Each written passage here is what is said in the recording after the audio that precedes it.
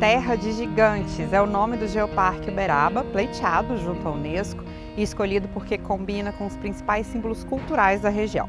Chico Xavier, os dinossauros do sítio paleontológico de Peirópolis e o zebu, gigante que simboliza uma das principais forças do Brasil no contexto mundial, a pecuária. Tiago Riccioppo, que é historiador e gerente do Museu do Zebu, vai explicar sobre os motivos que levaram a ABCZ a ser signatária desse projeto. A ABCZ tem um legado histórico de contribuição para com o nosso presente enorme, né? na história não só de Uberaba, mas do Brasil. E Uberaba é o berço da ABCZ, é o berço do Zebu no Brasil. Né? Então, a partir desse, desses indícios, vamos dizer assim, é, nós poderemos eleger um espaço que, que representa bem a ABCZ e representa bem Uberaba, que é o, que é o Parque Fernando Costa.